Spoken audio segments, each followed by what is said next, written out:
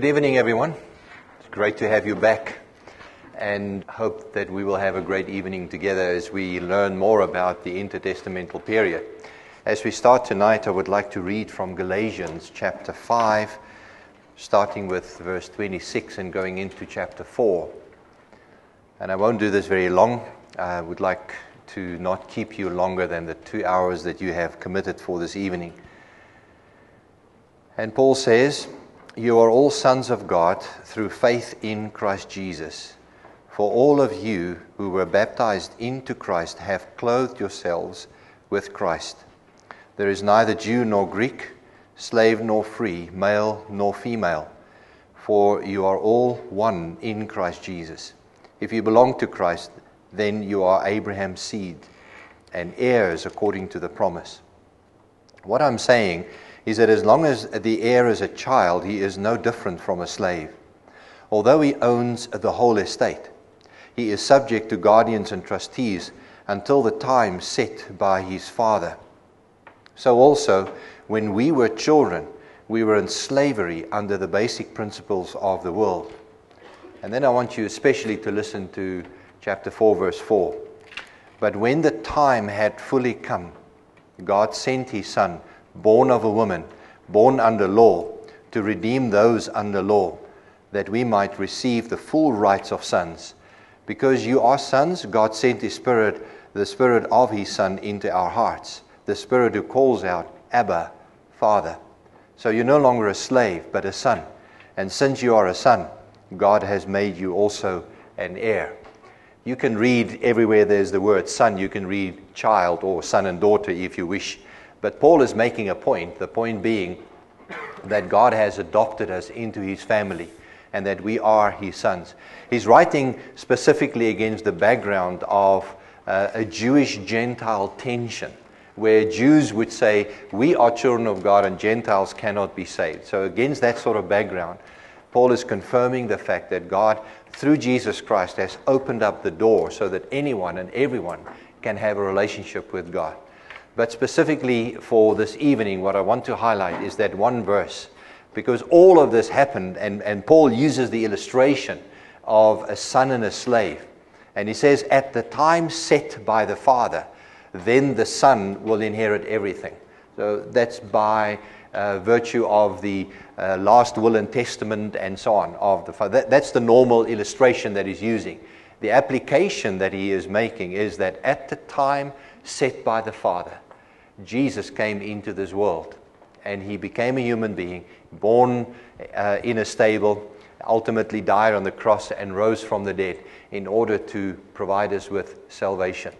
It's especially in the words that, that, that we read where Paul says, in the fullness of time, which is an older translation, or when the time had fully come, uh, that I want to highlight the topic of tonight, which is looking at how I personally believe strongly how God prepared the world for the coming of Jesus the Messiah. And, and hold on to that because by the end of this lecture today or this evening, I, I trust that I would have made that point very clear.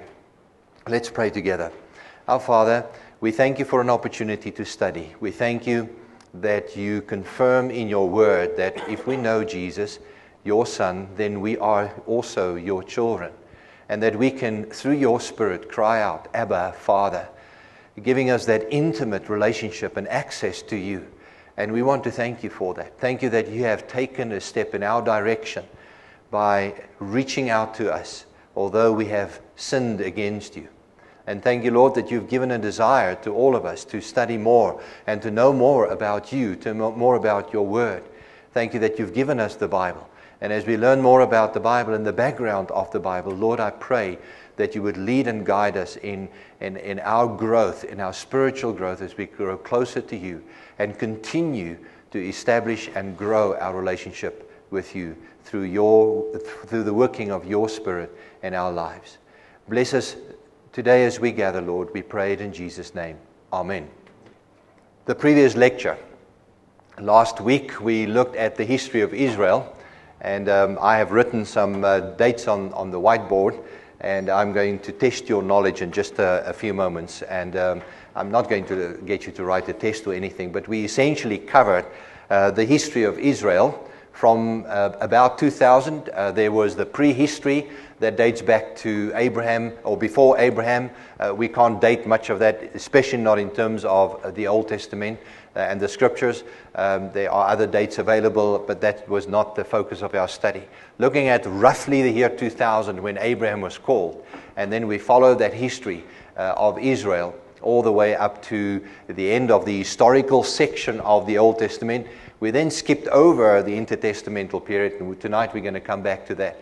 And then we very, very briefly looked at the first hundred years the birth of Christ, um, the expansion of the church, uh, and, and that actually makes for a, a complete different study, uh, a study called church history, essentially. And it, church history, the study of church history starts with that first century AD, and then it moves along and uh, studies how the church has expanded uh, around the world.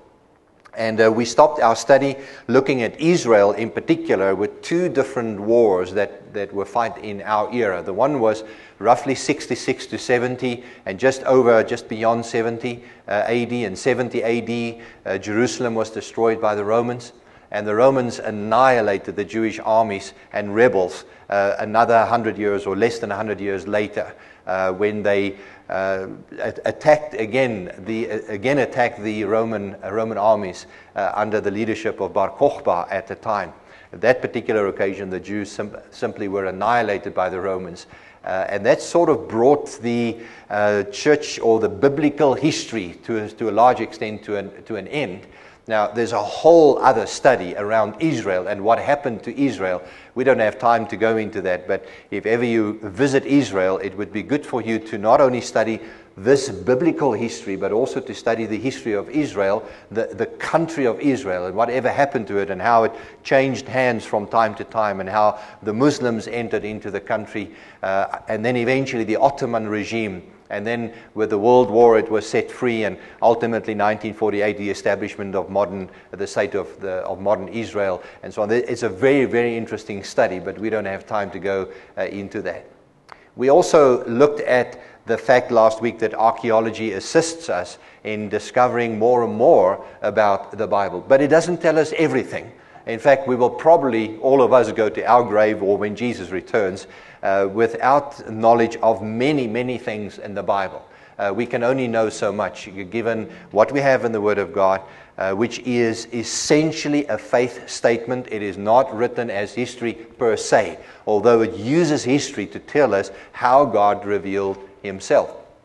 But then uh, archaeology has been used to confirm many of the facts in the Bible. And so we have looked at that particular study last week. Now, tonight we're going to focus on that intertestamental period.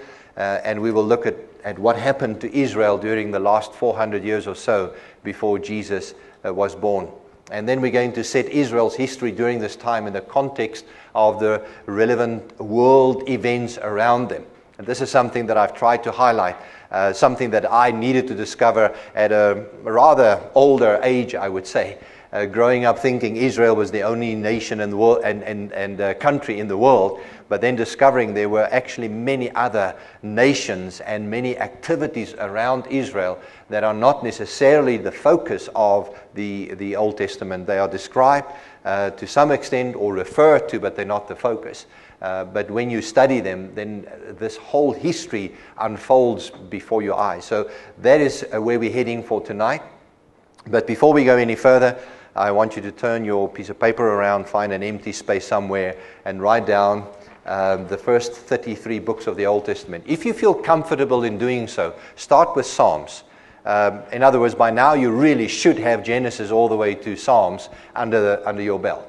So if you want to, just write down the last few of those books and test yourself and see if you actually can remember the names of the books of the Old Testament.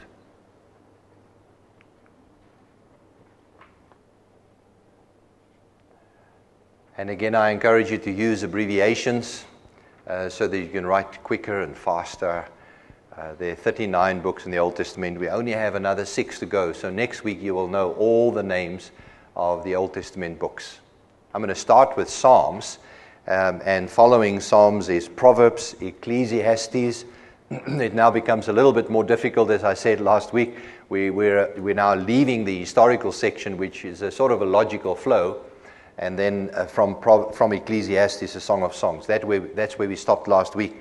This week, there are four major prophets it's Isaiah, Jeremiah. After Jeremiah is a wisdom book, which is called Lamentations. And then the third major prophet is Ezekiel, and the fourth one uh, is Daniel. Those are regarded as the major prophets. And then we're into the minor prophets. And the minor prophets, uh, and I'm going to read it just so that um, I don't make any mistakes, but it's Hosea, Joel, Amos, Obadiah, Jonah, and Micah. And so I trust that you had a 90% uh, good record there uh, if you mark yourself. Just go through this exercise. Um, I will be uh, testing you probably in the exam on the names of the books of the Bible as well, because this is part of the exercise for those registered for the certificate of completion. Okay, it brings us back to the history and the intertestamental period. It's uh, become very uh, common to refer to that as the silent years. The reason for that is that the last of the authentic prophets that we have in the Old Testament is Malachi. Um, and, and again, there are arguments about the date of Malachi, but I'm not going to go into that. We'll talk about that in more detail uh, when we do the second module. But Malachi represents the last of the authentic prophets. After that, many people, as you know by now, have written, and so there are written documents available. Uh, and we've looked at the Apocrypha, and, and that's just a, a, sample of, of some of the written activity or writing activity at the time. But the interesting thing is that Jews and later on the Christians do not acknowledge any of the additional writings as authentic Word of God or part of the canon.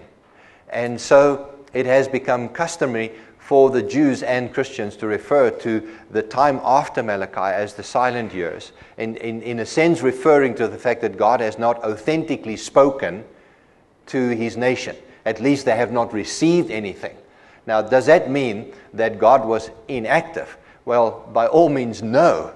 God was, was 100% active and working in this world, in preparing the world for the coming of Jesus the Messiah.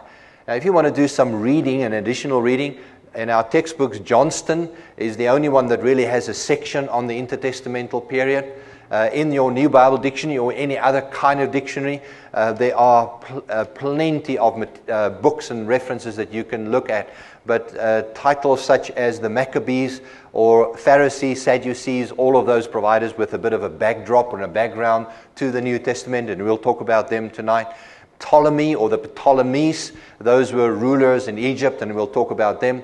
Alexander the Great makes a wonderful study, as um, will any of the other uh, eras or people or groups or, or empires. Uh, you can read up on any of those in either the dictionary or on the internet or wherever. If you are following any of this in the Holman Bible Atlas, then chapters 13 to 17 uh, tell you more about this particular time uh, in, the, in the life and in the history of Israel. By way of background, just to refresh your memory, I wonder if you can recall some of the dates that I have already written on the board. And this is, this is not on a scale, as you will immediately see. I'm covering uh, one and a half thousand uh, years in the first section on the left on, on, this, on, the, uh, uh on the whiteboard. So 2000, we've talked about that already, so I'll give that to you and not ask you to answer. But this is Abraham. What happened roughly 1750? Anybody?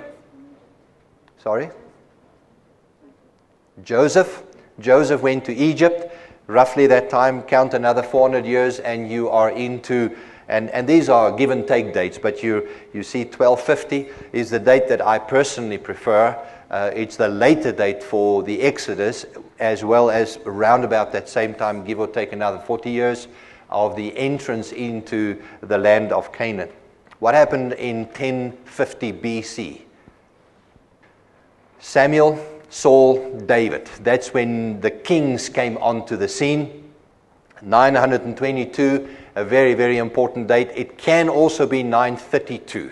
If you, depends on, or 931, depends on which source you're reading, but the dates differ or vary by about 10 years. I have opted for 922, given one of the sources um, that I have personally been using, which is uh, the New Bible Dictionary. But 922, what happened? The split of the kingdom, north and south. So from that point on, there were two timelines. The one referring to Israel in the north with Samaria as the capital city, the other one in the south, which, had, which was called Judah, uh, and it had Jerusalem as the capital city. What happened in 722? Samaria was destroyed uh, under the Assyrian uh, Empire or by the Assyrian armies. Um, Samaria was taken in, people taken into captivity. 586, to refresh your memory. The Judah fell and Jerusalem fell. Uh, by this time, the Assyrians were overtaken by the Babylonians. The Babylonians are in power. They establish their empire, and Nebuchadnezzar comes and he destroys Jerusalem as well as the temple. And it brings to an end uh, of what has become known as the First Temple era. The Jews, or the people from Judah, most of the, the top echelon people go into exile.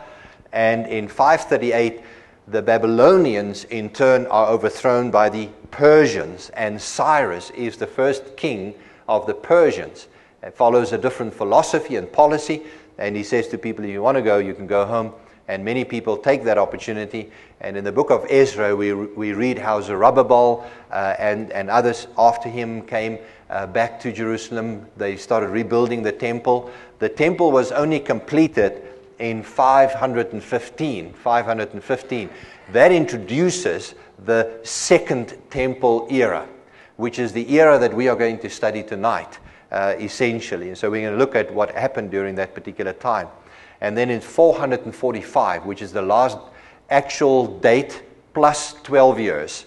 Uh, so you need to minus 12 from 445, and you'll get the, the last uh, dated reference in the Old Testament, and that is Nehemiah coming to Jerusalem as the governor He's been appointed as the governor over Judah, or the province of Judea, and he builds the wall around Jerusalem.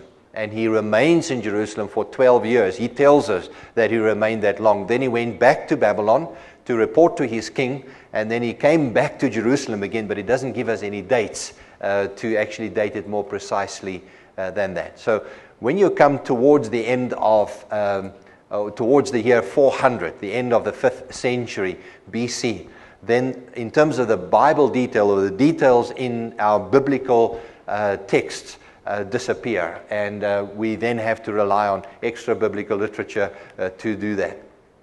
Now, we have bits and pieces of information from the books of Esther, um, which describes the story of Esther and Mordecai, but it doesn't help us with any of the dating uh, whatsoever. In fact, um, if you're a critical scholar, you will doubt that Esther ever lived um, because there's no reference to her anywhere else. And, and some of the critical scholars will say something to the tune of now, such an important event as the king finding himself another wife, why is that not described in the archives of the, of the Persians, for example? She lives during the, the Persian era. And the same thing with uh, Daniel. Daniel provides us with a bit more information, uh, but Daniel was removed from Jerusalem even before the fall of Jerusalem in, in uh, 597, or, or, rather 605 or so, uh, at one of the first attacks of the Babylonians on, on Jerusalem. Daniel was in that group who was removed uh, to go to, to Babylon. And so he tells us the story, and Daniel lives right throughout the Babylonian uh, period, uh, 586 and beyond until the Persians took over, and Daniel still has some activity there. So, again, you can fit Daniel into the picture, but it doesn't help us much in terms of providing much more information uh, about what happened. We're entirely dependent on the extra biblical literature for our knowledge of the period from 400, roughly 400, uh, to the birth of Jesus Christ. Now, tonight I'm going to summarize the history for you, which I have done last week as well. The moment you summarize, you, you, you're in danger of oversimplifying it. And, and I can really only touch uh, and scratch the surface and give you the headings, sort of the headlines of what actually happened.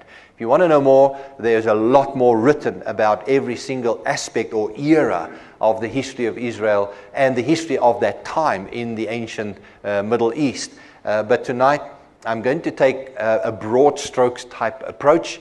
And when you tell history in that way, uh, there is an, there's a particular angle and a bias. And my angle and bias is learning more about what happened to the country and the people of Israel during this time.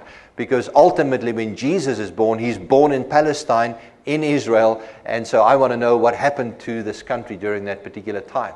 Uh, there's a lot more about all the other nations the Assyrians, the Babylonians, the Persians, the Greeks, and, and so forth. Uh, but those things you will have to study up and, and look up for yourself. But it does help us to get that overall picture.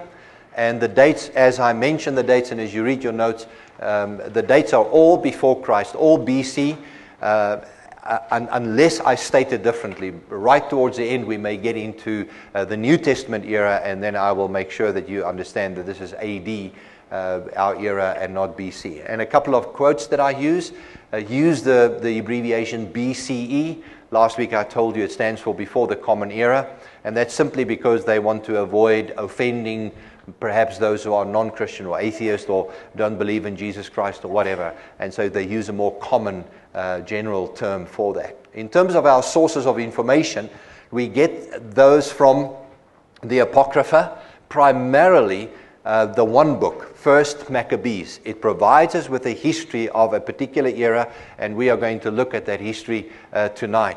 And, and it helps us to get that picture. It's written pretty much in the style of Samuel, Kings, Chronicles, uh, and so forth.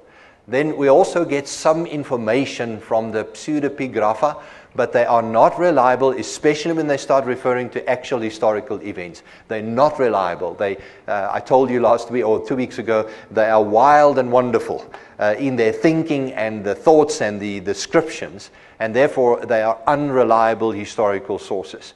They do provide us with a bit of an understanding of the cultural backdrop against which we need to read the, the story of the Bible towards the end and then also where the New Testament starts kicking in. The Dead Sea Scrolls, again, they are uh, dated about 100, at the latest 100 BC. They can even be older than that, but that plongs them right in the middle of our 400 year period. Uh, but they do not describe history, they describe uh, the life and the beliefs of a particular community. And we are going to look at that community or those kinds of communities in, in one slide. Uh, later on, it's called the Essenes. And those were sort of ascetic groups who, who distanced themselves from the rest of Judaism at the time. And in particular, they were rejecting Jerusalem because of all the sins and the wrongs they believed that happened in Jerusalem. So we, they withdrew from society. And here in the Dead Sea Scrolls, we have we have the ref- reflection of one such community and how they believed uh, you became part of their community. So their rules and regulations are all described for us. And so they don't provide us with history as such, but they provide us with a, a cultural backdrop and an understanding of how people worked and, and, um, and believed and, and lived in those days. The works of jo- Josephus, again, Josephus is biased. Uh, he lives in our era, in the first hundred years uh, of, of, AD, and uh, he writes up the history, and obviously um, he, he looks back over many, many years, and he refers to some history, historical information, which is very, very valuable, but it's not always certain how reliable Josephus uh, in particular is. And then, of course, we have the literature from contemporary empires. You have the Assyrian documents, the Babylonian documents, and, and all sorts of other documents, primarily uncovered by archaeologists. And these things have been studied back to front by all sorts of people, scholars who know a lot more than, than I do. And uh, they have put together the histories of these different empires and nations. And that really provides us the broader picture uh, in which Israel uh, needs to be uh, understood uh, against the background uh, that Israel needs to be understood in those days. Uh, we also, um, I already mentioned the book of Daniel in the Old Testament. Daniel provides us with prophetic insight in terms of the future. He describes particular years, he refers to 70 years um, in, that we find in the book of Jeremiah. And then in his dreams and visions, he sees pictures about the unfolding of history.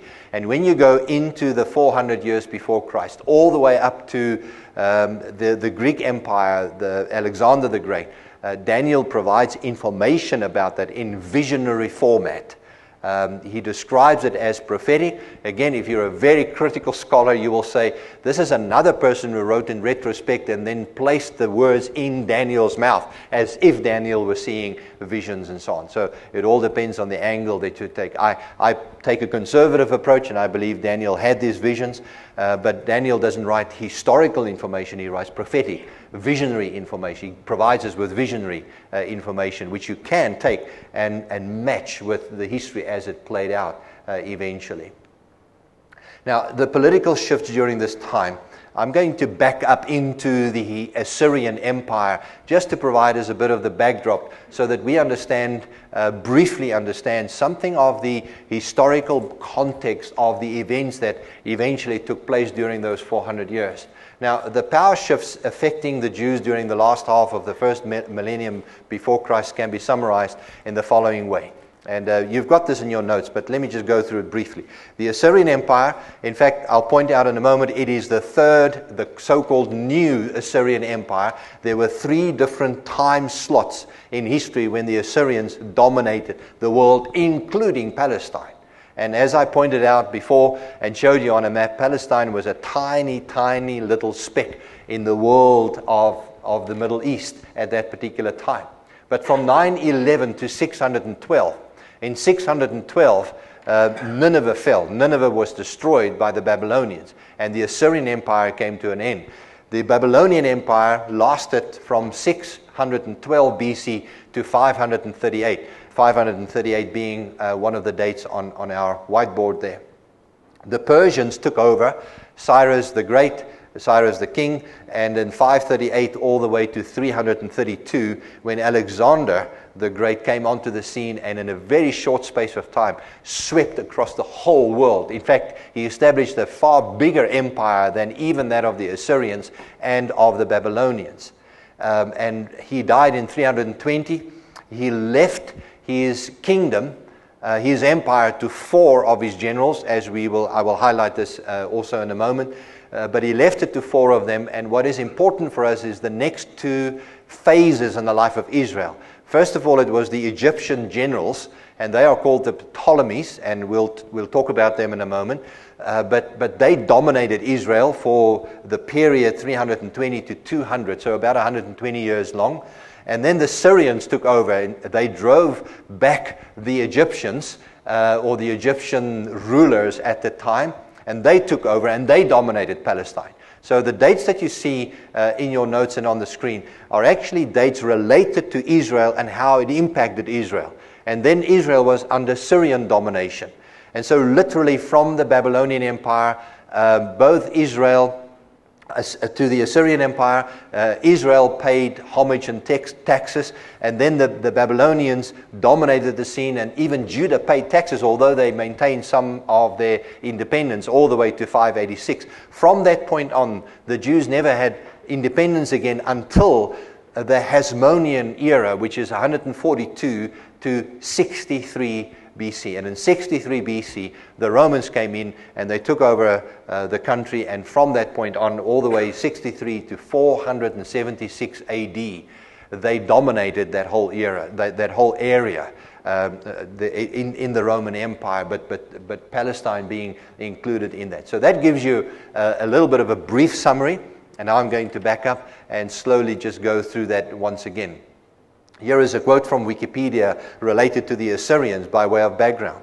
In the Middle Bronze Age, Assyria was a region on the upper Tigris River, named for its original capital, the ancient city of Assur.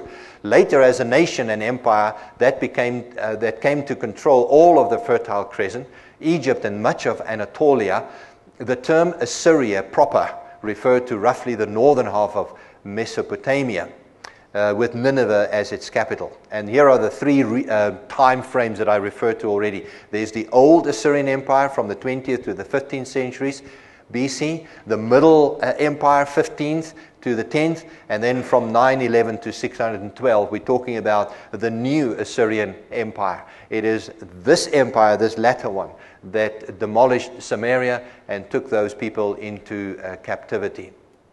The Assyrians were very innovative people at the time, and archaeology, archaeological digs uh, and discoveries have unearthed many of their inventions, such as Assyrian invented excavation to undermine city walls. Uh, for example, they were the first ones to be able to do that. They also designed battering rams to knock down walls and gates, uh, a concept the concept of a corps of engineers who breached rivers with uh, pontoons or provided soldiers with inflatable skins for swimming. So it's quite amazing back in those days, we're talking 3,000 years ago and longer, uh, that these people were so uh, innovative and clever. The new Assyrian Empire, and on this map, I need to show you roughly what happened. We have the initial Assyrian Empire with Ashur the name Ashur right there, and there is the capital city, Nineveh. Just in context, uh, Sidon, Tyre, and there's Jerusalem. So this little area there is Palestine. That's where the, Israel, the Israelites lived uh, over there. But the region, initially, the first empire was that sort of smaller section. The second era of empire included a much broader one, including Babylon in the south and then the third one is all the light green that you can see all the way to the Persian Gulf and then all the way around to uh, the upper parts of Egypt. And that was the third Assyrian Empire. And it is this one that, as I said before, that destroyed uh, Samaria. The new Assyrian Empire under Tiglath-Pileser, the third, Shalmaneser, the fifth, and Sargon reached its pinnacle during the latter part of the eighth and the first half of the seventh uh, centuries BC. They were responsible for the fall of Samaria in 722, but Judah somehow escaped the attack, we believe, and as we read the story of the Bible, God protected them. Uh, they heard some news, the king heard some news back home, and he went back home. And actually, uh, if, my, if, my, memory serves me correctly, some of his sons came and actually uh, killed him. And so the Lord protected Judah, Jerusalem at that time, but Samaria fell uh, under their uh, their armies. The Babylonian Empire, the Babylonians uh, came up from the south, and we have just looked at the map with Babylon um, in the south, in the, in the modern day Iraq. There was an uprising uh, in the southeastern part of the empire in Babylon, and that started weakening the Assyrians after many years slowly pushing north, and in a final battle in 612, the Babylonians succeeded in destroying Nineveh, uh, never to be fully recovered again. The Babylonians also attacked Judah at that same time, and that happened in the last part of the 7th century, uh, in 605, 608, around about that time. And then they started pushing uh, again, uh, stamping their authority, and on few occasions they came and, um, and subdued Jerusalem uh, but in 586, Nebuchadnezzar came and destroyed Jerusalem as well as the temple. Many Jewish leaders and people were taken into exile between those years. Then again in 597, and then again in 586. Many people were taken into captivity. And the reason for that was to weaken the country. So you take the leadership away and you leave them uh, leaderless and powerless. Uh, and, and, and that philosophy actually worked for most of the nations at that particular time. The Persian period, 538 to 336. The Babylonian Empire lasted almost a century until Babylon was taken over by the Persians without anything like a war. It literally happened overnight. Uh, they were besieging the city, and somehow they got access to the city overnight. And the next morning, when the people sort of woke up, the Persians were in the city of Babylon and they took over. They, they also, therefore, inherited the empire, uh, as it were. Cyrus, the first king, in 538, and he gave permission to the nations. That is described on that cylinder uh, in the background that you can see there. Uh, it is described the, um, the, the, same information that we have in the book of Ezra and in the, la- in the last chapter of Second Chronicles. Uh, that information is confirmed in, in that cylinder. Some Jews went home to rebuild the temple. 515, the temple was completed. And then in 445, the wall of Jerusalem was rebuilt. The Jews experienced relative peace, but they were subjected. They, they now live under governors. They didn't have their king anymore. And it's important little, not just a little bit of information, it's an important part of the history of Israel to remember that at this particular point in time, there was no longer a king. Um, there, there, there, was perhaps evidence of aprons that came back from Babylon at the time, but because they were subject, subjected to and subject to the Persians or the Babylonians, whoever, uh, they didn't allow them to appoint their own king. And so, over that period of time, and it's, it's, it's a, a mystery that we cannot resolve anymore because we don't know exactly how it happened, but the kings started disappearing into the background. And that also lays a foundation for what eventually would have become, and I will mention that later on as well, where the high priest in Jerusalem became more and more important. Um, where at one particular time you had the king and the priest, the high priest, and those roles never got confused. In fact, one of the kings actually got zapped by God because he tried to offer a sacrifice. And the priest came in and said, This is not allowed for you to do so. Only the priest can do so. Um, and and when, when, they, when we then enter into this intertestamental period, something changed in the life and the expectation of the nation of Israel, where the king became not less important, but he no longer functioned because there was no king. But there was also always a desire, as I will point out later on, a desire on the part of the Jews to have their own king and to throw off the, the yoke of these foreign nations and then to have their king. And that is how the whole concept of a Messiah started developing among the Jews. They didn't have a physical king anymore, but it was a dream of theirs, a passion of theirs to have their own king uh, one day. But during this time, they, they, they experienced relative peace. Nobody attacked them, nobody killed them, nobody persecuted them necessarily. And under the Assyrians and the Babylonians, and now under the Persians, they experienced relative peace. They could build their houses and do whatever, build the temple, have their sacrifices in there, and worship with very little problem.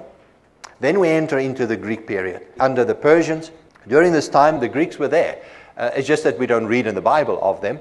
Uh, but when you study the history, it's, it's like any history. There are all sorts of nations all around, but they seem to grow in power and strength uh, over time, and then strength or power dwindles down, and another nation or another group sort of takes over. And that's exactly what has happened. So the Greeks were always there.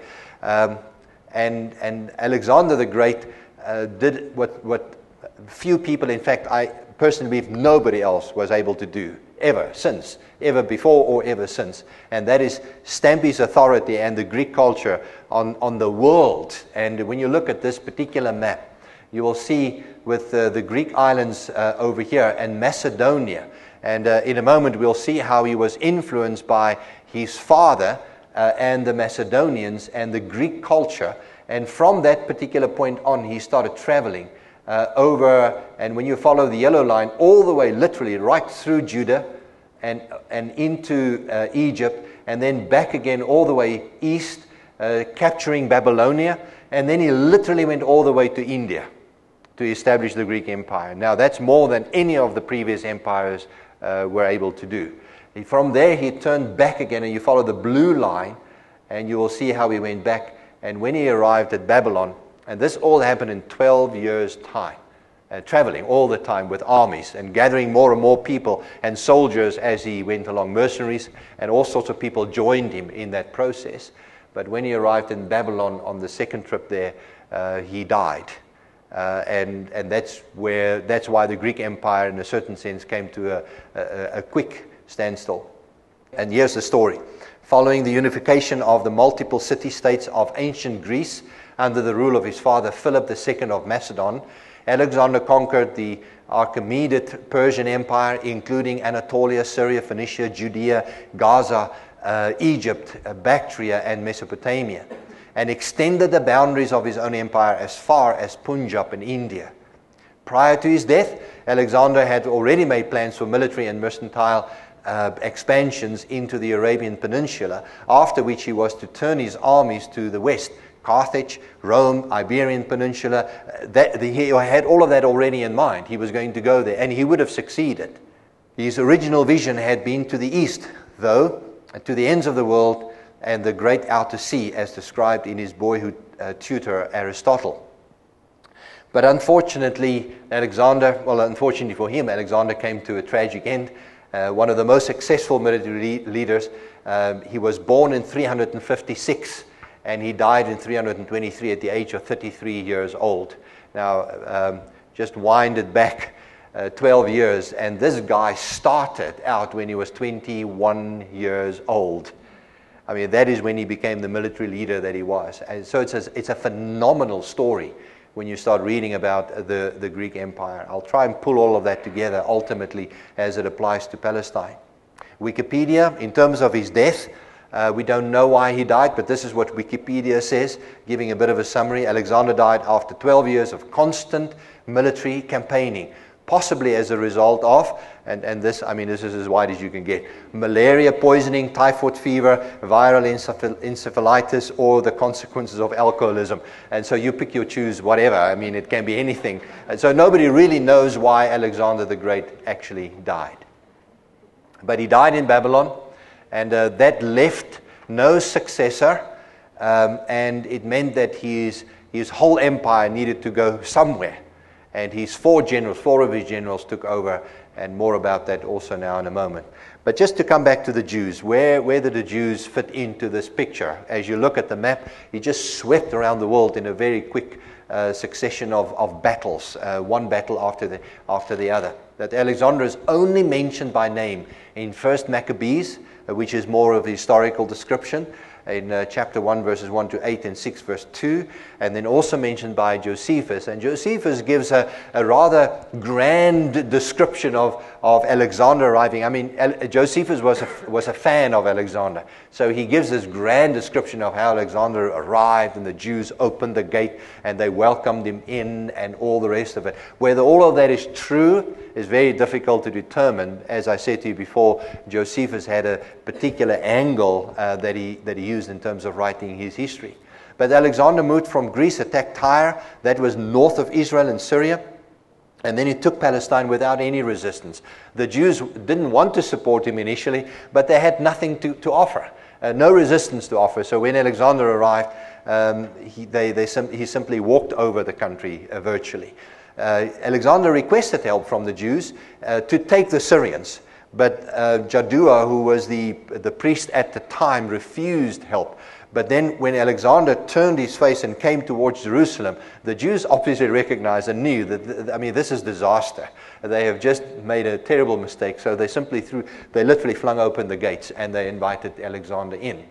And it, it caused a lot of tension within the Jews because um, what became known as uh, Hellenization, and the word Hellenas or um, yeah, Hellenas means Greek or Greek uh, or Greece.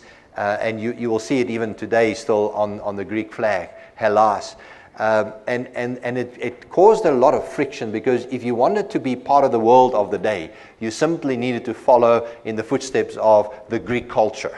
Um, and, and so it caused this huge tension within the Jews as to whether they should welcome Hellenization and start learning Greek and the Greek ways and, and, and the politics of the Greeks and so on, or whether they should resist it and, and retain their own identity uh, as Jews. But during the time of Alexander and those short few years, uh, there was a, a, rather good relationship, and, and again, Alexander left them to their own. In fact, he had his mind on Egypt. He went down to Egypt, came back uh, over the whole of the Mesopotamia, and conquered all of that, and, and didn't bother the Jews uh, from that point uh, much. There's the word Hellas on, on the Greek flag.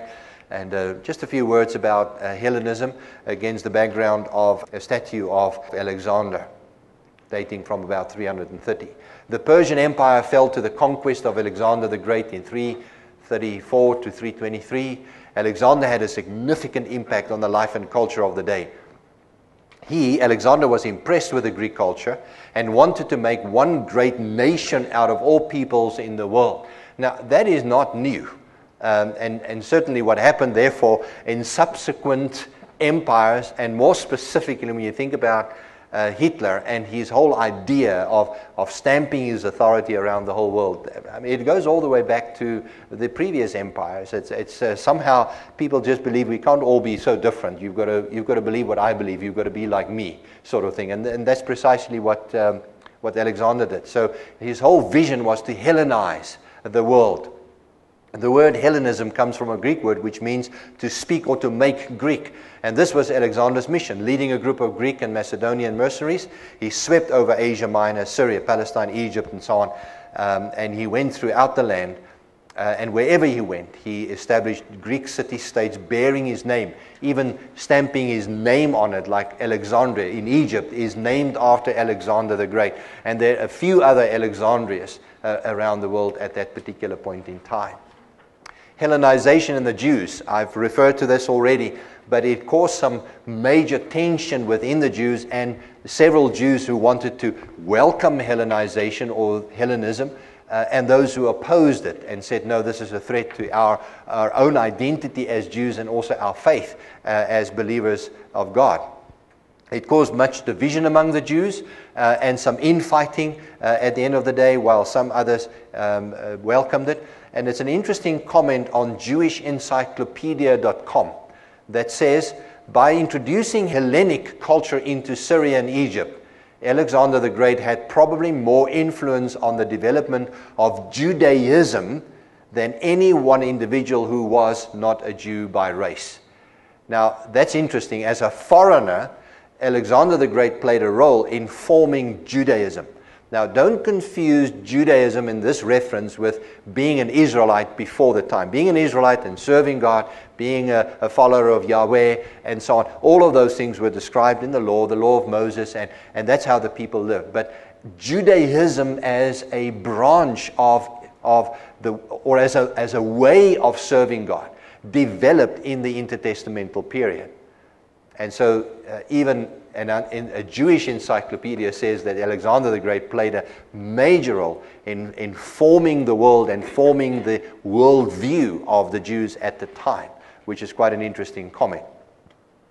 Now, as I said before, uh, at the sudden death uh, of Alexander the Babylonian um, uh, in, in Babylon, uh, it brought much confusion. Uh, there is some evidence that he had a boy in the making, or, at, or maybe even a baby boy.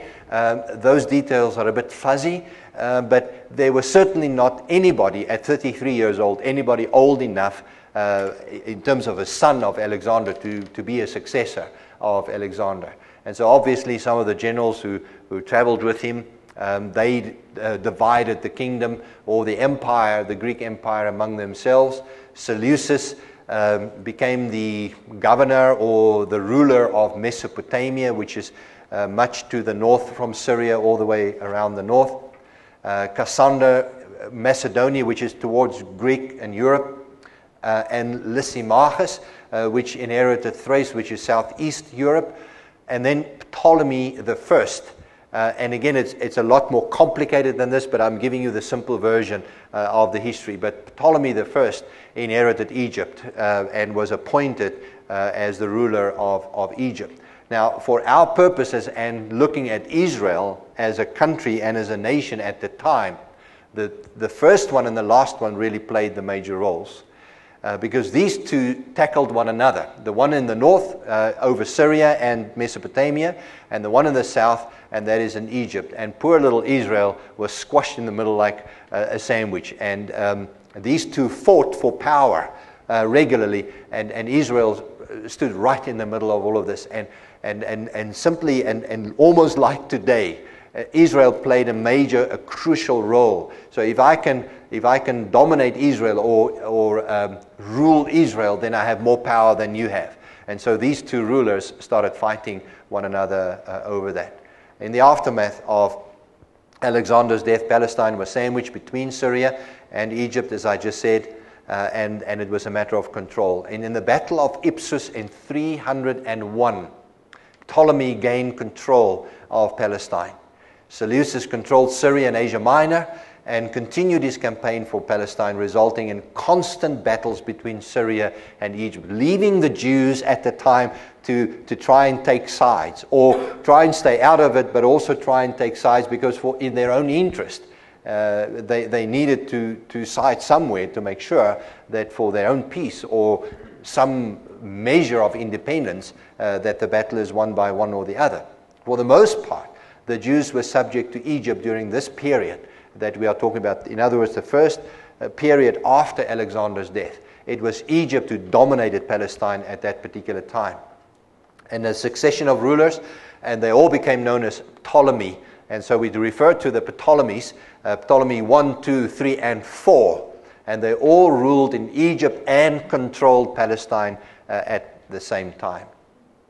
It was during this time uh, when there was freedom of travel that many Jews left Israel and traveled down south. Quite ironically, uh, when you look at the Exodus, for example, and as a group they, le- they left Egypt, and Egypt always, even in the prophetic writings, picked up the reputation of the enemy, the evil, um, which in the New Testament, Babylon plays that same role. But, but Egypt was the evil one.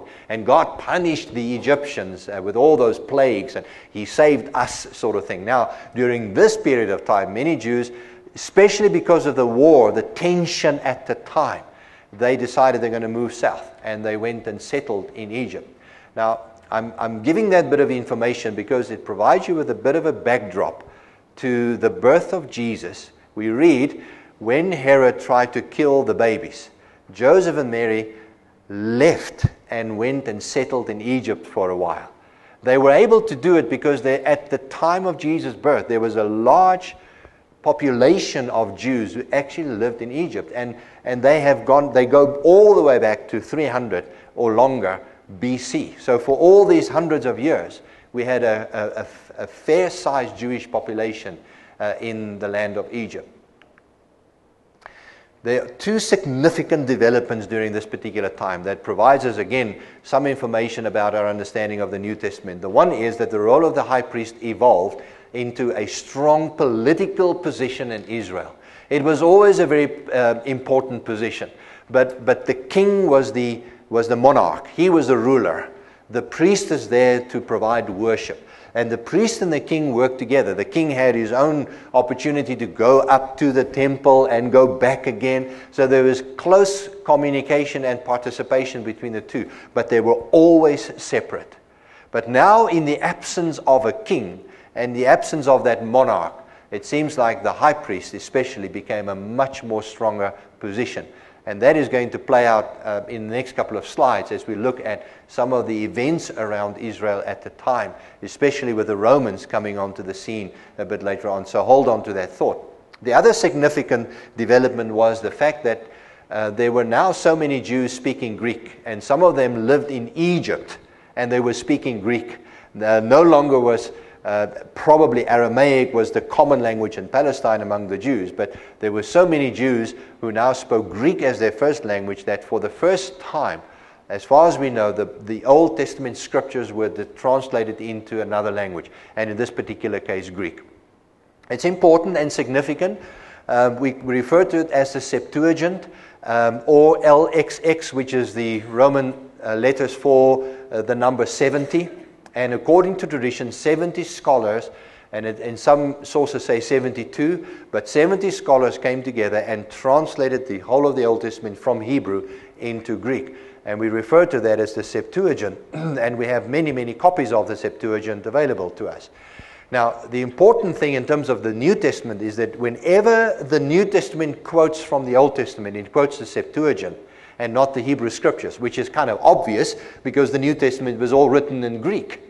But there are some translation differences between the Hebrew scriptures and the Septuagint, or the Greek scriptures in the Old Testament. And it's interesting that whenever the New Testament quotes, it quotes the Greek, and it doesn't go back to a, to a direct translation from uh, the Hebrew. So that just provides us a little bit of the background to the New Testament. I'll give you much more information uh, uh after, after tea, after our break. But it leads us to the Syrian period, 200 to 142 uh, BC. The succession of rulers in Asia Minor from Seleucid the first to Antiochus, the first and the second, did not succeed in overcoming the Egyptians. They fought the Ptolemies, but they weren't able to overcome them. It was Antiochus III, with the help of some Jews, again inviting the Jews to help him, who won an important battle against Egypt in 198. And he then took control of Palestine. So now allegiance uh, shifted from Egypt to Syria in the north. Palestine was now under direct control of the Syrian rulers, and it introduced one of the worst periods in, in the memory of the Jews in terms of persecution under Antiochus IV. Antiochus IV, also called Epiphanes, or Antiochus IV Epiphanes, or simply Epiphanes, and there is a, a coin with his face on. Um, in 175, Epiphanes became to the, came to the throne and imposed a radical Hellenism on the Jews in hopes of strengthening his empire against the encroaching Romans. Now, that's an important little bit of information. The Romans are there, they, they are, they're coming, they are on, on the increase at the moment. Uh, and so that's the background. They, they have been in existence for a long while. The term Epiphanes means God is manifest. Now, immediately you can see how a Jew would object to that. How can you, even in your name, because it was a sort of a nickname, his proper name or his, his mon- monarch name uh, was Antiochus IV, but he adopted the name Epiphanes, which means God is manifest. It stirred up the Jews against this self appointed deity. There was great resistance against the advancement of, of Greek culture. Antiochus' final resolve was to eradicate Judaism completely by making it a crime of death to observe the Sabbath, observe circumcision, and by burning the Holy Scriptures.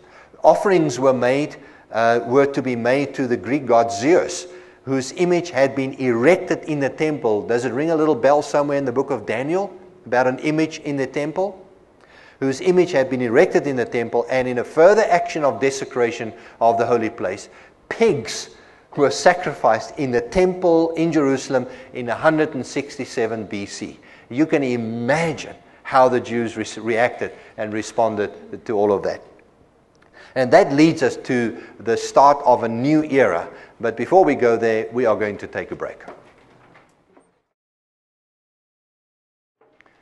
The peace that existed since the Assyrians and certainly since the Persians disappeared when Antiochus IV came into power and started ruling over Palestine. There was a certain uh, Mattathias, and he was supported by, by his five sons, who started a rebellion against the Syrians and actually fought a, a guerrilla style war against the Syrians, just, just hitting them hard, withdrawing, hitting them hard, and so on. Um, and it started even before the desecration of the temple, but you can imagine how the Jews reacted and responded to the desecration of the temple.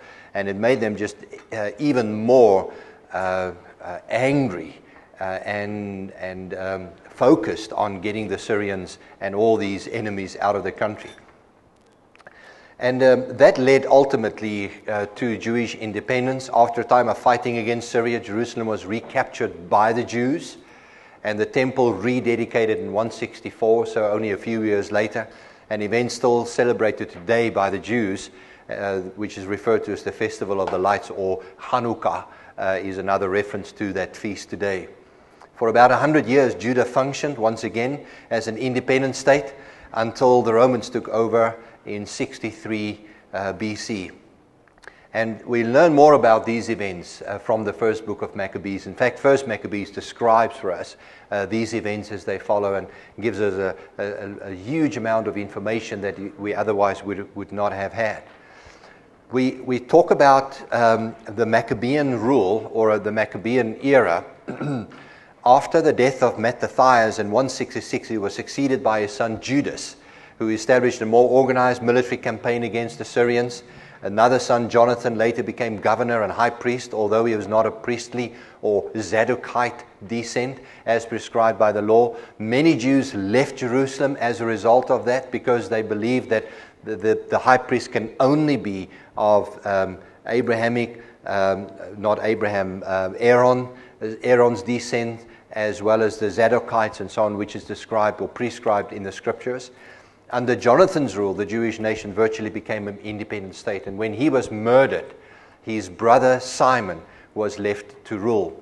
And um, the Hasmonean period, which then uh, intersects with the Syrian period, uh, is 142 to 63 uh, BC. And um, these coins that you see on the screen actually are uh, photos of coins discovered from the Hasmonean period with different uh, inscriptions. This one right there has Hebrew uh, written on it. So they date from, from that particular time, having been uncovered by archaeologists uh, from that particular era. Simon became the first king or the leader of the Hasmonean dynasty. Uh, at a meeting in 141, uh, Simon was voted to become the leader and high priest forever. Again, does, does it ring some kind of a bell uh, from the book of Hebrews? You find a similar description uh, for the Lord Jesus Christ. So, this is a concept that already started some years before Jesus uh, was born. When Simon was murdered, one of his sons, John, named John Hyrcanus I, became leader and king. And then some more coins from that particular area. Again, some, some uh, Hebrew written on that particular one. And over here you find the uh, menorah uh, as well, or at least some kind of a reference to that.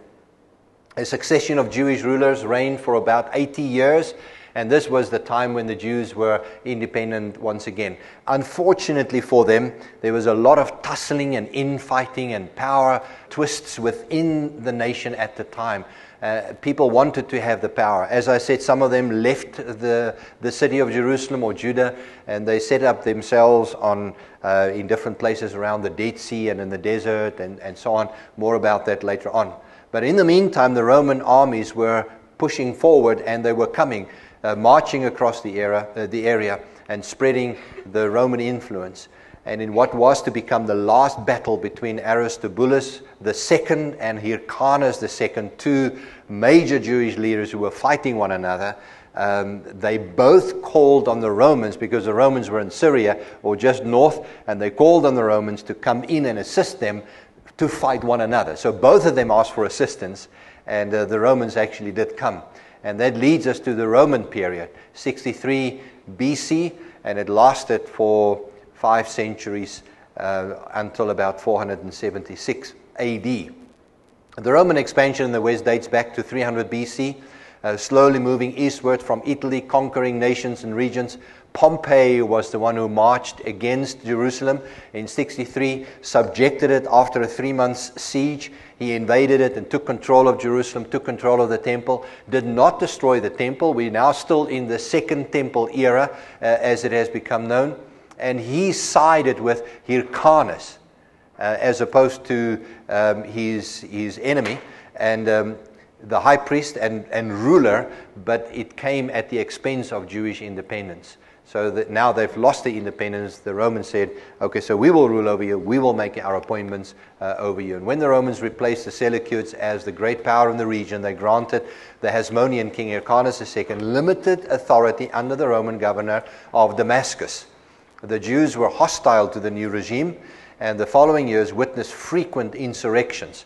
At last, an attempt to restore the former glory of the Hasmonean dynasty was made by Mattathias Antigonus, whose defeat and, and death brought Hasmonean rule to an end uh, in 40 uh, BC or BCE, and the land became a province of the Roman Empire. And that situation endured all the way through uh, the life of Jesus and the early church. Uh, on this particular slide, you will see the expansion of the Roman Empire uh, from Italy uh, over here and from Rome. It expanded in, in, se- in, sessions or in eras or so. First the yellow, and then the green expanding even more, and then ultimately the red. Uh, and that lasted into the era, into the early church era. There was Herod the Great. That provides us with uh, an interesting bit of backdrop or background to the New Testament. The Romans found a man by the name of Antipater, a Jewish convert from Idumea. Formerly, Idumea was called Edom. Um, and so, uh, by the time Jesus was here in the, in the first century, it was no longer called Edom, but Idumea. And um, he gained the support of the, of the Romans. He was a half Jew uh, half Edomite.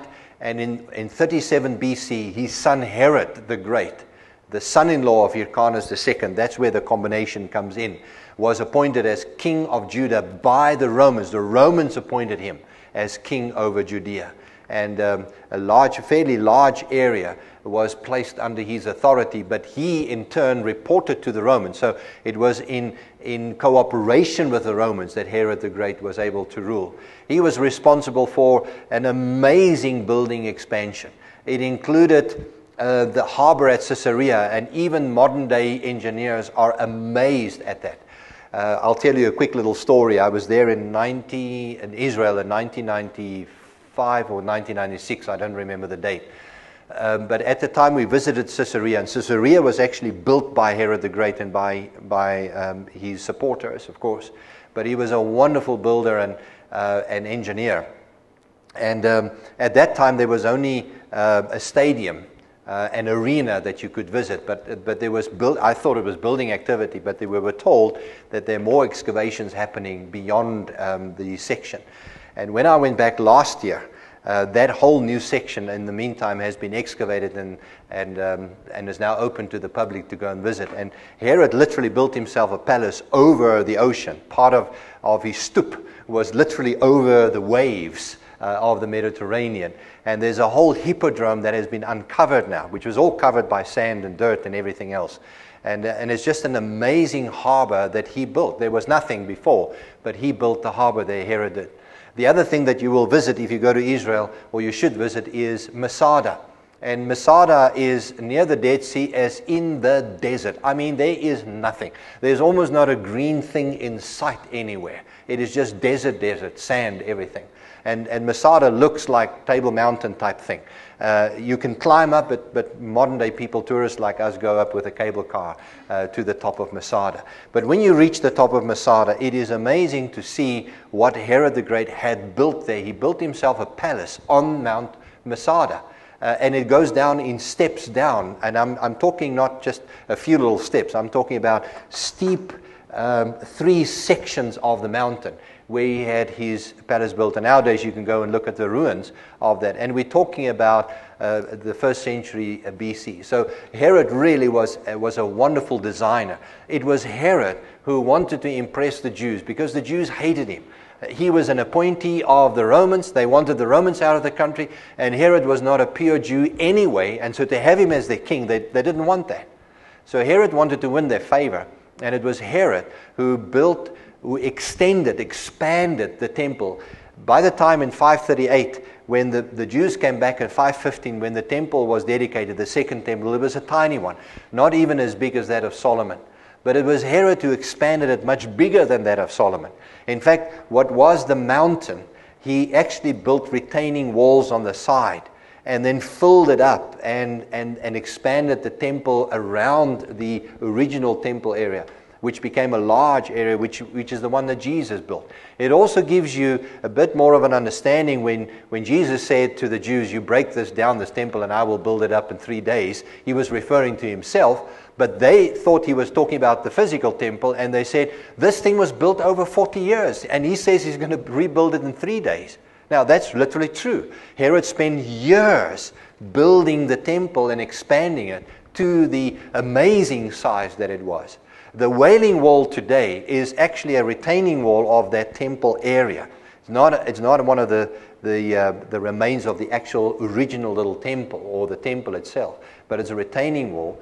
Uh, and it's an impressive wall, I can guarantee you that. Whatever picture you see, uh, the Jews have excavated even further down, and it goes another three to six meters down, even underground. And even what you see has been excavated by them uh, in the meantime over the last number of years.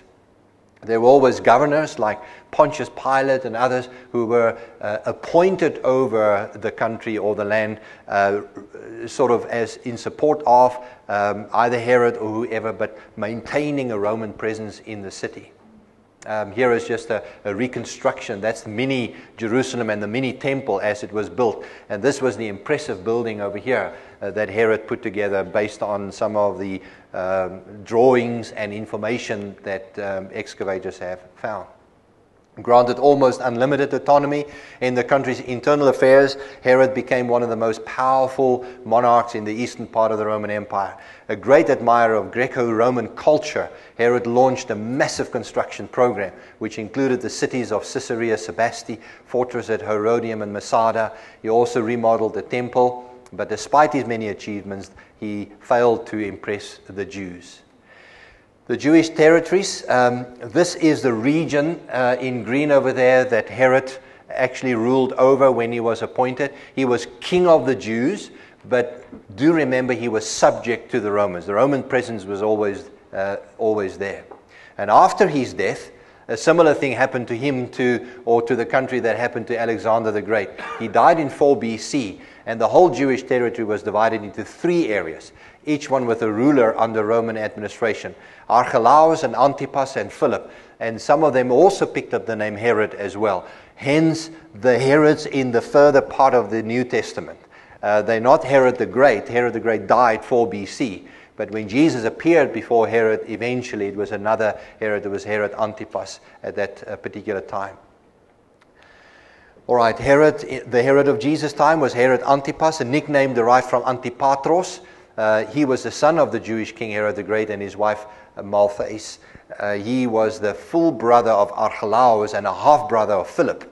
With his brothers Archelaus and Philip, he was educated in Rome a kind of honorable detention to guarantee his father's loyalty.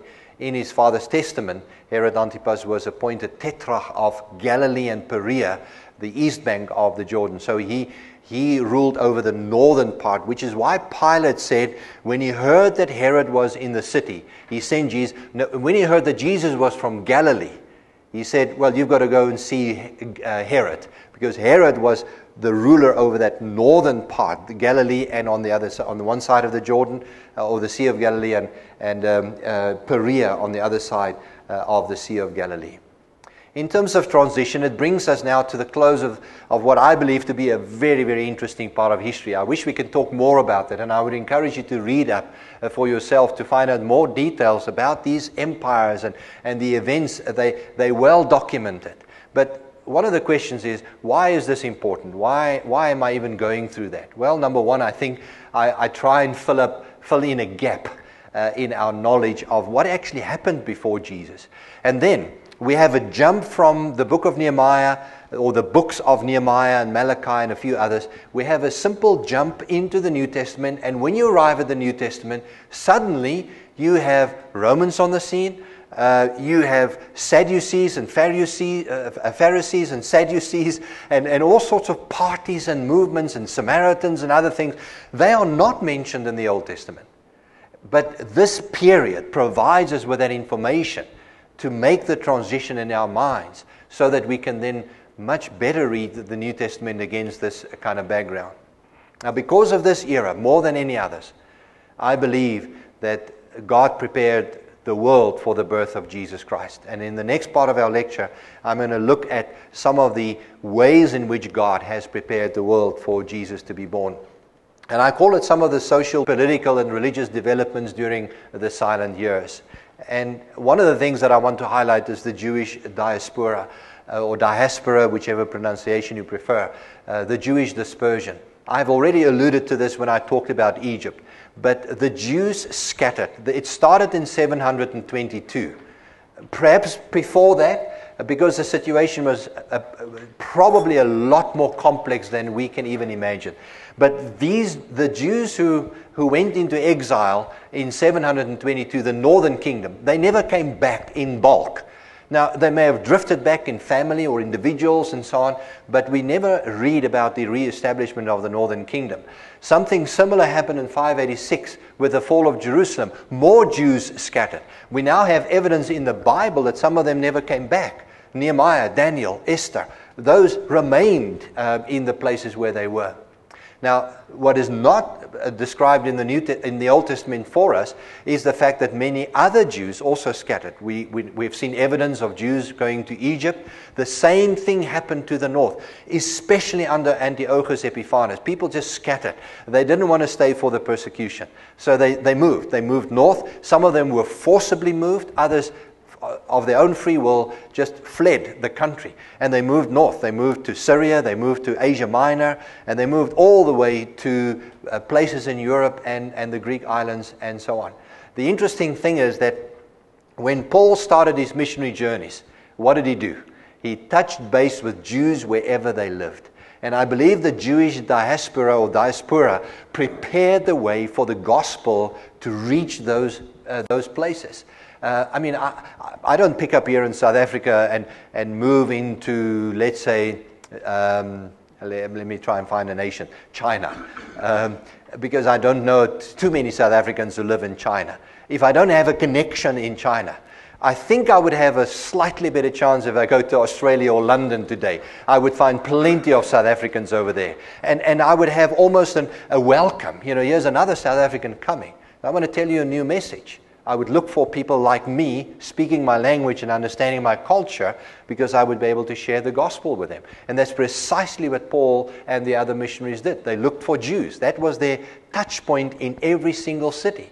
So God was not silent. He was silent, not speaking, but God was not inactive. He was preparing the world years before Jesus came in sending Jews, scattered them around the world. Now, the Greek language is another proof of the way that God was working in preparing the world. In Israel, people spoke Aramaic. Jesus spoke Aramaic. It was a Semitic language related to Hebrew, as we saw last week or the week before. But Hellenization ensured the spread of Greek as the common language of the time. It became the lingua franca of the day. It's almost like we are using English today. And wherever you go, you, people want to learn uh, English. Last year, I went on a mission trip to Thailand. Some of our missionaries there are using this as a way to establish relationships with people. They offer English, and people actually write to them and contact them and say, and say We want to come and study English. And so, using English as the language, they're able to share the gospel. Now, in this particular case, Greek became that language, the common language. And the whole of the New Testament is evidence of the fact that this was the language spoken and that Paul and others used to write up the whole of the New Testament. Now, tell me, 300 years before Jesus was born, God prepared the world for the language to be used for the gospel to spread into the world. 300 years before. I mean, I, I, am astonished when I think about that. It blows my mind that God can plan it so well in advance. And of course, it proves the fact that God is God. Roman infrastructure, 63, and even before, I mean, 300 BC, the Romans already came onto the scene. But by 63 BC, they, they were now well established as the Roman Empire. By that time, they, they took Palestine and, um, and the Jews became subject to them. From the earliest times, the Romans displayed remarkable skill at building and engineering. They constructed bridges across the river Tiber, aqueducts to supply Rome with water, and sewers to drain the forum and keep the city healthy. As they expanded their power across Italy, the Romans linked the capital with other communities they had conquered by a network of roads so well designed that many still lie beneath the motorways of modern Italy. And even till today, they excavate and find Roman roads where the Romans just built roads and bridges and everywhere. Until today, engineers marvel at the skills of the Romans. And the Romans provided an infrastructure that the gospel was able to go around freely. Today, you and I, uh, if you're a South African like I am, you need a visa to go to Britain. I mean, of all places. These people didn't need any visas. They had the freedom to travel. They had the roads to travel. They, uh, I mean, Paul and others just, just traveled everywhere because the road system was there for them to do so. There was relative peace during that time. The Roman Empire boasted the Pax Romana, as it became known, or the Peace of Rome. It was a period somewhere between 27 BC and 180 AD during which time there was no major war. There were skirmishes and, and little rebellions here and there and everywhere, a little um, put, put down a fire over here. But there was no major war during that time, which meant that Paul and others could travel freely around the world using the Pax Romana, uh, the freedom of Rome, to travel uh, without much uh, disturbance. International travel uh, became well used in those days. It was there before, but the Romans just made it so much easier with their ships and their, uh, and their roads and the system that they designed. The Pax Romana, Roman citizenship, uh, and an, in, an excellent infrastructure all provided an opportunity for Christian missionaries to travel freely uh, around the world. Uh, just one quick example Paul used the citizenship of Rome to protect him from time to time. He was able to say, You, you cannot you cannot uh, condemn me without a court. In fact, when he stood uh, in, in Caesarea, that very city I mentioned before, when he stood in Caesarea before Felix and Agrippa and others, uh, he said, I, I appeal to the Caesar. As a Roman citizen, he had the right to ask the very top person in the empire to, to preside. at his, at his hearing. And, and that's exactly what he did. And that is why he was eventually sent uh, to Rome. And he had the right to do so. And the Roman citizenship provided him with that. Again, it provided for um, for that freedom of the gospel. And this is precisely what I'm saying on, on this slide. Paul was able to use this privilege not only to, to travel freely, but also to provide him with protection when he needed it. There are a few developments prior to the coming of Jesus that are simply assumed when you read the New Testament. Let me lead you through just a few of those uh, to help us to give us a better picture of the background of the New Testament. All of these developments during the time uh, of the silent years or the 400 years before Jesus came. There was the Jewish messianic expectation. By the latter half of the first century, the monarchy was only a distant memory. Um, there, there, was no king. For the last 400 years, there, for the last almost 500 years, there was no king. And so there was this desire for a king, but the reality, we're under Roman authority. Uh, we're probably never going to have uh, our own king again. And so the concept of a Messiah king developed extremely strongly. The evidence is there in the extra biblical literature. Uh, that we have. Apart from the Old Testament and prophecies we have in the Old Testament, uh, the evidence is there that people grappled with this issue. And by the time Jesus came, it was almost like the nation was ready for a Messiah type figure. The, the sad part is they had a particular description for him, and therefore Jesus didn't fit the description. And for the most of them, they rejected Jesus as a result of that. But this figure would come in the line of David. He would be the son of David. Uh, like David, David was their king. And even till today, the, the Star of David and David's city, and uh, David plays this role. And so, in the line of David, the Messiah uh, would come. In addition to that, what I told you before, almost a fusion of different kinds of political positions and religious positions, like the king, the priest, and then also later, and, and we will talk about that more in the second module, but um, later on, the prophetic uh, position that developed. And it's interesting that Jesus, when he came, fulfilled all three of those positions king, priest, and prophet uh, in, one, in one person. But already when Jesus came, it was not a foreign concept that the leader, the king, and the priest would be the same person. And we've seen that in the developments uh, during those years. Jewish theology developed uh, very strongly in this time. Um, the perceived silence on the part of God during the 400 years before Christ created a vacuum and a yearning for his prophetic voice to be heard once again. Uh, hence the, the question to John the Baptist Are you the one whom we are expecting? You remember that question from the New Testament. Now, all of what happened in the 400 years before created that vacuum. They were yearning, they were waiting for someone to come. And so they asked John, Are you it? And then many people found Jesus to be the Messiah. And they obviously believed him. Many others rejected him, of course. But there was this theological speculation. The other thing that happened during this time was rabbinical schools. Um, we, we don't have them in the Old Testament ever. But in this period, during this time period, the, the rabbis developed as a position. They were the teachers. They, they taught the community. They taught the children. And more specifically, if you wanted to become a disciple, and we have the evidence in the Jewish writings all over about these different rabbis. A rabbi like Gamaliel. And Paul says to us, I, I studied at the feet of Gamaliel. Was a very common thing to do. You have these leaders, and uh, there was Hillel and Gamaliel and, and all those uh, rabbis. And, and there's no wonder that oftentimes Jesus, called, Jesus was called by people rabbi. Uh, in, in their address of him because they would see him as a rabbi. So when Jesus came and started teaching, it was nothing new, it was a very well known concept.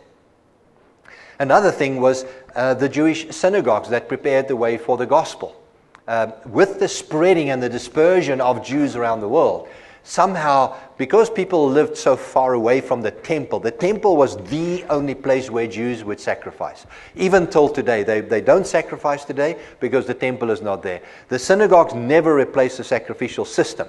But the synagogue became the center of Jewish community. That's where they taught, that's where they read the law, that's where they came together to worship and read more, because they were miles away, sometimes countries away from Jerusalem, and they never had an opportunity to get to Jerusalem. And here you have a picture, a photograph, in fact, that, that, that I took of the. Um, no, no, no, I didn't take this one. Uh, this is of the synagogue in Capernaum. And the foundations of this synagogue goes back to the time of Jesus. And so when you visit Israel and you walk into that particular area, you know that the foundations, not the walls, but the foundations go back to the time of Jesus. Right next to it are the excavations of Peter's house. Uh, with, with now a church built over it with a, with a glass floor in the middle. You can look down onto what is believed to have been Peter's house, where Jesus healed Jesus, uh, Peter's mother in law. The name synagogue comes from the Greek word synagoge, and it means an assembly or a gathering place. And this is how the Jews started gathering.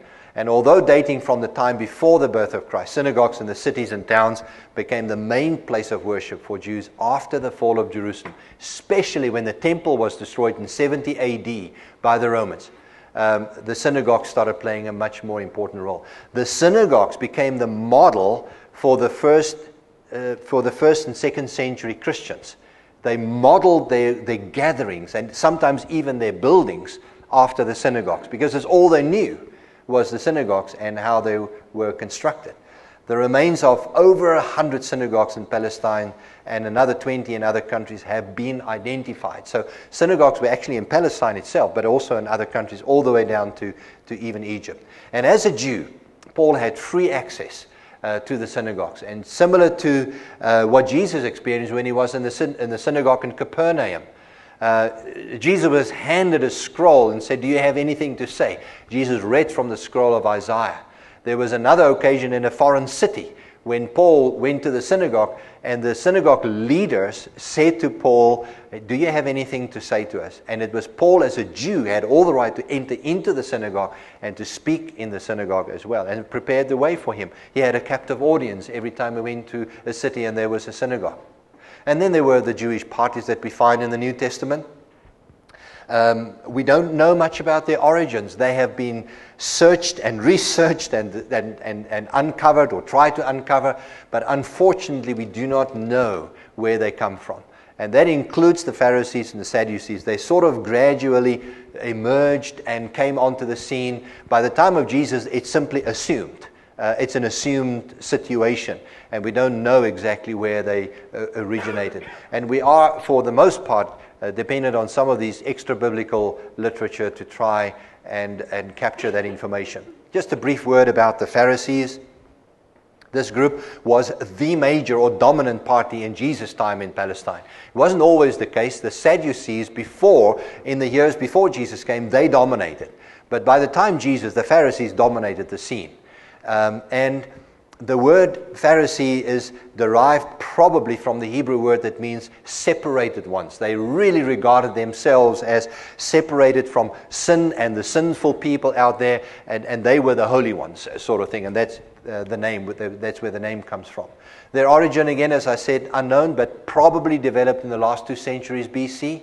The first reference to them as a group is found in the late second century BC, about 130 BC we, we find reference to them. But we, I mean, again, they, they just assumed as a group that is in existence. They were known for their passion for the law and the protection of the traditions of the forefathers. And then there were the Sadducees. That was the other major party, religious party that we find. Again, the, the origin is unknown but they probably date from roughly the same time as that of the Pharisees. They were mainly represented by the upper class, whereas the Pharisees represented the middle and lower class of the people. Sadducees regarded themselves as upper class, uh, wealthy people. Together with the Pharisees, they formed the Sanhedrin. Uh, and that functioned like a parliament. By the time Jesus came, no king anymore, hated the Jews, uh, hated the, the Herod uh, or the Herods, uh, and the Romans and everybody else and their internal affairs, if you wish, the, especially the religious affairs of the Jews, were overseen by the Sanhedrin. Again, we simply find the Sanhedrin there suddenly out of the blue uh, in the New Testament. The Pharisees believed in eternal life, in angels, and so on. The Sadducees rejected all of, of those things. And then there were the Essenes. I've referred to them briefly before uh, against the background of some of the caves in which the Dead Sea Scrolls were discovered. And this is really what the situation looks like over here. It's desert country. It really, really is desert country. And this is one, one of the reasons why those scrolls survived for uh, almost 2,000 years or so. The Essenes, um, this is uh, a word that is not known from the New Testament, but the Qumran community could have been an example of such a community. And here again is a quote from Wikipedia. Uh, they were a Jewish religious group that flourished from the second century BC to the first century AD.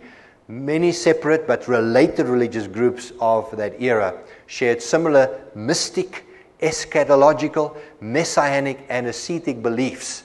These groups are referred to by various scholars as the Essenes. It's not a, it's not a group as such, but it's, a, it's a, a group name for several different kinds of groups, such as the Dead Sea Scroll community. It may be, when you read the New Testament, that John the Baptist, when he went into the desert and he had all these funny habits like wearing uh, sackcloth and uh, skins and eating uh, uh all sorts of little animals and things, it may be that John had some kind of contact with these people, but we wouldn't regard him as one of those groups, but he may have had some contact with groups like that. The Samaritans is another interesting study. Um, the origins of the Samaritans are not known. Uh, although the Jews would refer to 2 Kings chapter 17, with the fall of Samaria, the Assyrians brought in some other nations to replace some of the Jews that they took into captivity. And, and the, the 2 Kings 17 uh, tells us that there was a mixture of religion and all sorts of habits uh, during that particular time. The Jews are saying that's where the Samaritans originated. The Samaritans say, no, we are not associated, we've never been associated with the city of Samaria, and they have a whole long history and a very, very interesting history as well. They have their own beliefs. They have the first five books of Moses, they changed some of that uh, a little bit. They have their own script as well, but we, we refer to that as the Samaritan Pentateuch. Uh, and when you do, uh, and, and we'll look at that next week, when you, when you do a little bit of the study of how the Bible was transmitted, then the Samaritan Pentateuch helps us as a witness to the Old Testament as well. And interestingly enough, they have always been associated with Shechem and not Samaria, but they are still in existence still today. By the turn of the century, the last century, they almost were extinct. But then their leadership gave permission to some of the young men, Samaritans, to marry Jewish girls. And then they assured or um, they, they regained their strength. And, and they're, they're not large in number, but there are two communities of Samaritans today in Israel. One is in Nablus, uh, which is in, on the West Bank, uh, West Bank territory, and the other one is near uh, Tel Aviv. Samaritans accept their own version of the Torah, the Samaritan Pentateuch, uh, and they still have a high priest and they still celebrate uh, sacrifices and especially the Passover feast uh, when they slaughter an animal and sacrifice that to God. Here is Masada. And if you look at this particular picture, here are the, the, the remains of Herod's building. He's um, sort of a palace or a, a fortress that he built. Now look at the steep decline over there and another one down there to the bottom. I mean, all of that, and with, with the equipment that they had in those days, I mean, modern engineers marvel at how they actually got the stuff up there and then to build it. I mean, and it wasn't just a bunch of stones. I'm talking about hothouses, uh, like saunas and, and, and, and equipment, and there is almost no rain. There is no water there. There's no natural water on that mountain. But they devised a system of, of catching rainwater whenever it did rain and then keeping them in these cisterns that they dug out of solid rock to provide the water for uh, people who lived up there. And this was sort of his winter palace that he went to at times. The Zealots, they are a, a Jewish faction traced back to the revolt of the Maccabees in the second century BC. The name was first recorded by the Jewish historian Josephus as a designation for the Jewish resistance fighters of the war, AD 66 to 73. That's around about the fall of Jerusalem. And this is also the time when uh, the zealots or some people moved onto Masada and held out against the Romans until the Romans uh, approached them and, and had that ramp. And on the last day, just before they went in, uh, those Jews all committed suicide, or uh, that is how the story goes. The Zealots were organized as a party during the reign, uh, during the reign of Herod the Great, somewhere between 37 and 4 BC. And then there was the Jewish Sanhedrin. I have referred to that already. By the time of Jesus, the Jews were governed by Roman officials with a king appointed by the Roman authorities for example, Herod the Great and other Herods. Since the Jews operated like a theocracy, in, in other words, God ruling over them, their politics and religion were very closely linked. And um, the best example of, the, uh, example of this is the Sanhedrin. And the Sanhedrin became like the parliament of their day, especially in the area of religious uh, uh, issues. Uh, but those religious issues spilled very, very strongly over into political and other areas, social life uh, as well. How the Sanhedrin came into existence is no longer known, uh, but Josephus is the first one who wrote that, that the Romans convened a meeting of the political Sanhedrin in about 57 BC. So we know that they were in existence by 57 BC. Um, about the Sanhedrin, um, the, the Tanaic, Tannaitic sources describe the Great Sanhedrin as a religious assembly of 71 sages who met in the chamber of hewn stones in the temple in Jerusalem. So that's where they met. And so that's where Paul appeared before the Sanhedrin. That's where Jesus appeared before them uh, eventually, uh, and so on. And they sat in a semicircle and they had their discussions. By way of conclusion, um, I provided a little bit of the backdrop uh, to the New Testament. There are many other developments that I could have highlighted and, and that we can, and I encourage you to look into uh, perhaps. But at the moment, we know enough. We, there's a lot that we do not know, but we know enough to know that God, as I've said now several times, God was not inactive. God was busy preparing the world to bring Jesus into the world and to allow the gospel to spread uh, around the world. So, as you go this week and, and, um, and, and look at your notes again, uh, I, am asking you just to, uh, to confirm and to affirm the things that we have talked about tonight. And, and, and even as you pray, uh, thank the Lord for His involvement in this world.